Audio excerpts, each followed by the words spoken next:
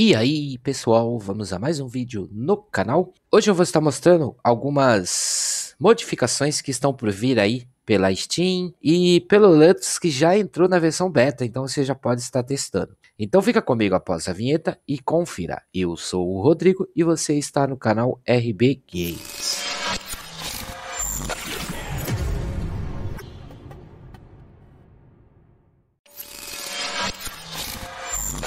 Se você vier aqui no GitHub do Lutris, que é github.com barra Lutris, tá? Eu vou deixar o link na descrição para você estar dando uma conferida. Nós temos aqui é, em Wine, ele vai te dar as informações, aí tudo você vem aqui em tags. Ele lançou o Lutris 6.14, mas como eu falei no vídeo dos jogos gratuitos da Epic Games, é, esse Lutris aqui, em alguns jogos não tá legal, tá? Ele não tá funcionando. Ele fala aqui que ele adicionou é, algumas correções para o Ubisoft Connect. Eu não testei ainda. Ele diz que adicionou aqui um fix for Star Citizen para quem joga. E aqui também ele falou que ele arrumou o bug do mouse no Roblox. Então, caso você queira estar usando essa versão no Roblox, tem como estar fazendo, tá? É só você baixar aqui o TarGZ aqui dele, ó, esse primeiro aqui, ó. Na hora de selecionar o Wine lá, você está selecionando ele. Caso você, vocês queiram um vídeo mostrando o Roblox com esse Lutris Wine, deixa nos comentários aí, comentem, curta os comentários. Quanto mais ou bastante comentários pedindo o jogo, eu faço um vídeo mostrando o Roblox com esse Lutris Wine 6.14, ok? É, ué. Até porque, se nós viermos aqui no Lutris, aqui na página, né, do Lutris e procurar Roblox, ó, ele só vai dar um script aqui e esse script não funciona, até onde eu sei, tá? Eu já testei ele, ele não funciona.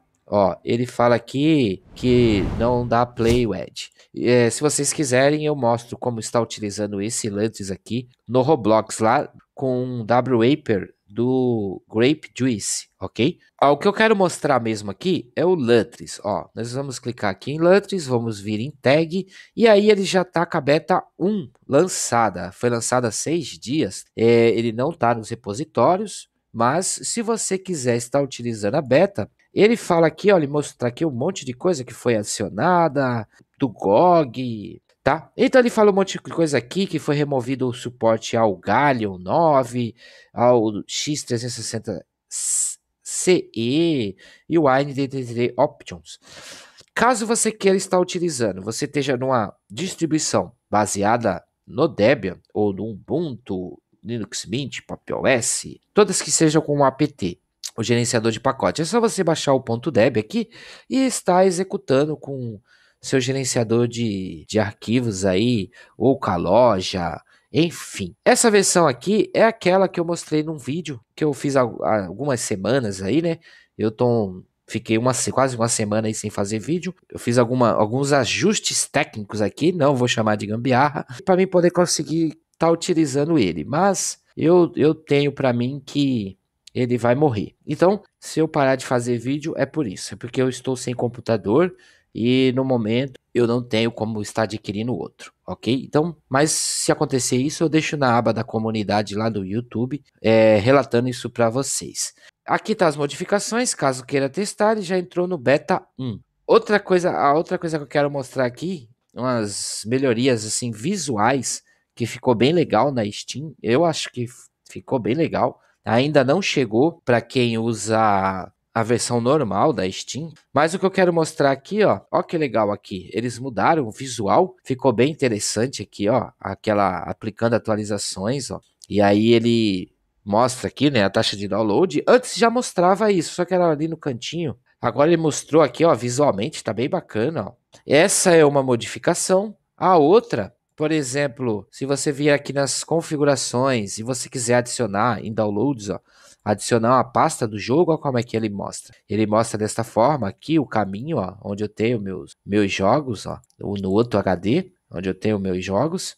Ele mostra que você pode fazer uma configuração, explorar a pasta. Esse aqui, deixa eu ver, você pode desinstalar ou mover por aqui. Como você pode estar fazendo para utilizar isso? Você pode estar vindo aqui, né, em Steam, configuração, você vem aqui em interface, opa, em conta, desculpa. E aí você vai vir aqui, ó, participação beta. Você vai vir aqui alterar e vai vir aqui, ó, nenhuma ou você coloca Steam beta. E aí você já vai poder estar usufruindo dessas mudanças visuais.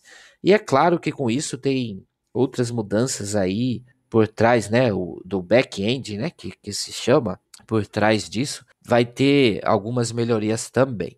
Mas eu achei que ficou bem bonito aqui, bem interessante. Você pode estar vindo aqui ó, em configuração, ó, também por aqui mesmo, ó, pelo download. Configuração, ele abre aqui, ó, já na pasta aqui e tal. Aqui em jogo você pode estar habilitando aquele overlayzinho que fica lá no alto, ó. Pode colocar aqui na posição que você quiser. Isso aqui já tinha já, tá? Vou dar um cancelar aqui. Eu acho que ficou bem legal isso aqui, ficou bem legal. Essas mudanças, eu creio que estejam vindo já por causa do Steam Deck, o tão esperado Steam Deck aí. Então eu creio que essas mudanças estejam sendo feitas aí para poder estar se adequando ao Steam Deck. É claro. Aqui não, não mudou nada, eu vou abrir um jogo aqui. Ó, aqui continua a mesma coisa. Então essas foi mudança aí do Lutris e da Steam. São os, as aplicações que eu mais utilizo aqui, né, para fazer os vídeos aí, para jogar meus jogos aí. É o padrão aqui do canal que eu mais uso. Então eu queria estar tá mostrando aí que ela veio com essas diferenças aí.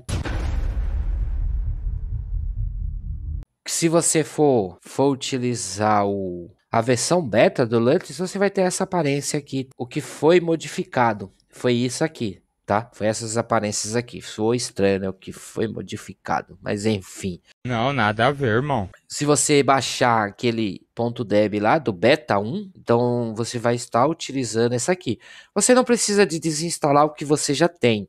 É só você instalar o ponto, ponto .deb e ele vai instalar e vai ficar com a versão 5.9. E aí você vai ter essas opções aqui eu vou deixar esse vídeo passando no card para você poder estar tá conferindo. Você tem em mente que você pode estar sofrendo com alguns bugs, tanto na Steam quanto no Lutz, porque são versões betas, né? Então tá em desenvolvimento, você pode estar encontrando alguns problemas aí, passando por algumas dificuldades. A Steam eu sempre usei ela na fase beta, tá? Algum foram poucas vezes que eu tive alguns problemas e tive que voltar para a versão normal, né, para a versão estável. O Lutris eu vou passar a usar a versão beta. Se essas informações foram úteis para você, se inscreva no canal, ative o sininho para você não perder as notificações e não esqueça de deixar o seu like. Você também pode estar compartilhando esse vídeo com seus amigos nas suas redes sociais para você poder estar ajudando o canal a crescer. Eu vou ficando por aqui e até o próximo vídeo.